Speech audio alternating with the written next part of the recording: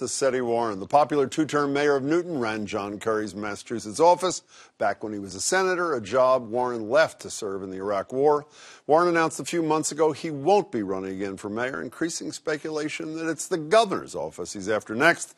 Current governor Charlie Baker's approval ratings, though down a tad as of late, are still solid at 59%. But a new MassINC poll finds how he's dealing with President Trump could be a weak spot. 37% of registered voters in the state feel he's reacting appropriately to the president. Another 18 that he's too critical, and 26 that he's not critical enough. To find out where Setti Warren belongs in that poll, he joins me now. Mr. Mayor, it's good to see you. Thanks Great so much to for see being here. you. When are you announcing that you're running? Well, I'm seriously looking at this race. I'm taking the next three or four months listening to people moving around the state. Public service has been in my life, my entire life, from, as you mentioned, uh, service in the Iraq War, uh, serving as mayor, uh, dealing with tough budget conditions when I first came into the mayor's job, and delivering services. So I'm going to listen very, very closely uh, to folks, and I'm going to make some introductions and uh, So probably the summer.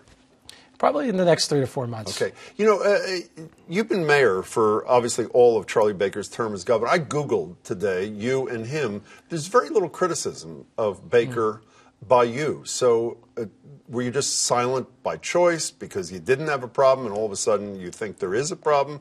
What's your issue with uh, Baker continuing in office? Well, this is really a Beacon Hill question for me. what? We, well, here's the deal. We've got a 2.8% unemployment rate. We've got economic growth, but yet we have a budget crisis right now.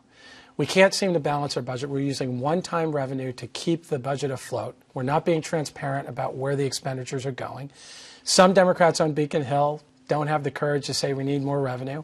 Some Republicans on Beacon Hill won't take the heat for making the cuts. We just had cuts in the, in the budget. When I was mayor, as I mentioned, I inherited a $40 million structural deficit, no rainy day fund. In the eight years since I've become mayor, we've eliminated that deficit. And I had the courage, and we eliminated that deficit by finding savings where we could. And I also had the courage to put a tax increase on the ballot when I was running for election. Did you- to build schools and add teachers and invest in public As you- safety? as you so we Mayor need Wa- to have the same kind of uh, uh, transparency. Deval Patrick in his last year was relying on one time revenues much, much more than Charlie Baker. Did you criticize Governor Patrick for relying on those revenues? No, well, look, you know, when Governor Patrick was in office, we were coming out of a recession. We had higher unemployment rate. We've got a low unemployment rate now. We've got booming economy in certain sectors of Massachusetts right now, but yet we can't balance our budget. So what challenges we can't do you think? things that what matter. challenges do you think? I read you use the word challenges, serious challenges that the. Uh, so what are a couple of the challenges where you think Baker is falling short that you could address better? Well, you know, I've been out and around the Commonwealth uh, listening to people. Here's what I'm hearing. People can't make ends meet on the salary that they have. People are trying to figure out how they're going to send their kids to college right here in the state, so make sure it's affordable. People can't move around the state because we have an antiquated tr- transportation system. We don't have enough housing. We don't have uh, the kind of early education system that we need to put kids on the right path. Can we and we're not funding, and we're not funding the K through 12 system right now. He's about to uh, uh, start a billion dollar extension of the Green Line, uh, assuming the feds come through. Spent $87 million on winterization of uh, the T after the disaster of two years ago. We have the best schools, K through 12, in the nation, according to tests. So I, I'm, I, I'm not clear. And you also, actually, this is another thing. I, I- something that's really high profile, I know on Baker's list, has been uh, uh, dealing with the opioid crisis. You criticized him for what about that recently? Yeah, well, this goes back to the, the expenditures of the budget. Okay. So again, we're, we have a structural deficit, and we're using one-time revenue. At the same time, what I noted was that there were nine C cuts in the middle of the year Yeah. around opioid uh, addiction funding uh, for the Cape.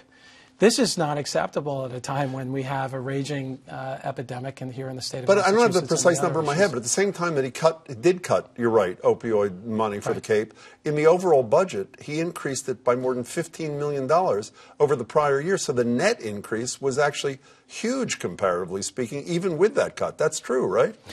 All true, uh, but again, this isn't about one person. This see. is about the people on the ground, and I keep hearing from folks they're trying to take care of their sons and and daughters who are struggling from this addiction. They can't not just find the bed to make sure there's detox, but long-term care. So we need that kind of investment. When you mentioned Beacon Hills, the prize, assume, I've read that you were against the huge legislative pay raise, but Baker vetoed it. It was your fellow Democrats who not only voted for this, I think, obscene increase, and I believe they should get a raise, but not like this, uh, and overrode his veto. So the problem is not Baker on that. The problem is is the leg- is the Democratic legislature. Yes, well, it's a Beacon Hill problem, right? I, but Democrats are the ones who did it, and it was wrong.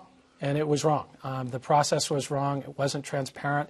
I believe in pe- folks getting raises as well. But look, this goes back to a you know decades old problem. This goes beyond Governor Baker. It's how Beacon Hill is not addressing the needs of people on the ground. As a mayor, I have to make sure I deliver strong public safety, teachers in the classroom so that we mm-hmm. one of the successful things we've done because of that modest tax increase that I asked in 2013 uh, we were able to add teachers reduce the achievement gap we're buying, building five new schools in the next uh, six I years I want to ask you about taxes before I do sure. that what, what, you were criticizing this 40% increase for leaders you took like a 30% increase yourself did you not so uh, from your alderman there yes so back in 2005 uh, there was a separate commission by the alderman at that time to recommend that the mayor take a pay increase. Sort of like what in the legislature Yeah, had. in 2009, uh, when I ran for mayor, this issue was discussed.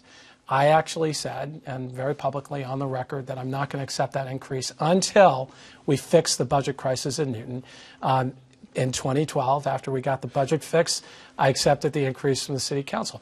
Look, the legislature needs to do the same thing. We have to make sure we're not using one-time revenue to balance these, this budget, have cuts mid-year like we did this year, and address the needs of people in the state of Massachusetts. So would it be fair to say, Mayor, that you think when you say the problem is Beacon Hill, that the problem is as much the Democrats in control of the legislature as it is, in your estimation, the Republican governor it's, it's in a, the corner it, office? It's a Democrat and Republican uh, question. It's both. It's nonpartisan. It's the way Beacon Hill is operated. Um, I'm for, for the millionaire's tax. People making twenty thousand dollars a week can, pay, can afford to pay a little bit more to. Should we have a broad tax increase in, before the millionaire's tax? Not even voted on until 2018. Should we have another broad-based tax I think, to meet the needs you're talking about? I think we should look at a variety of different ways we can raise revenue, but I'm for the millionaire's tax. As I said, $20,000 a week uh, people are making can afford to make, uh, make an investment in uh, education, transportation, early childhood, um, and infrastructure here in the state. If you do Badly this, we'll needed. see you a lot, correct? Badly if, you, needed. if you end up running, we'll see Absolutely. you. Nice to see you, Mayor. Good to see you, Good too. luck. Yeah, What's your website? you. Do you have one? You're Setti- not running yet. There's no website yet. In any case, you almost answered, but good to see you.